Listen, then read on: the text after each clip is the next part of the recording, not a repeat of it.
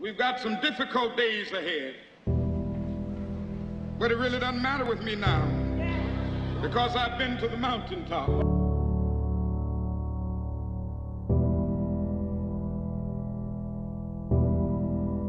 Like anybody, I would like to live a long life. Longevity has its place.